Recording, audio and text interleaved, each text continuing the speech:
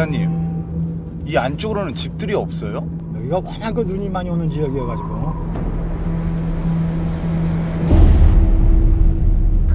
어이, 휴대폰 좀 씁시다.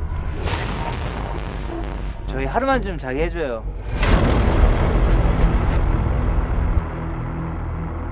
뭐야 이거?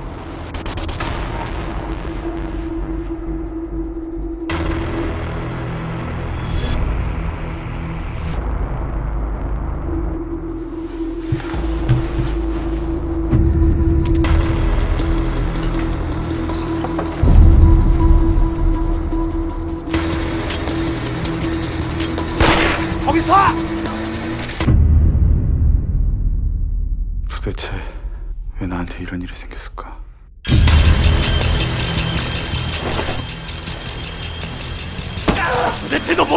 진짜 사람 죽는 거 봤다니까요.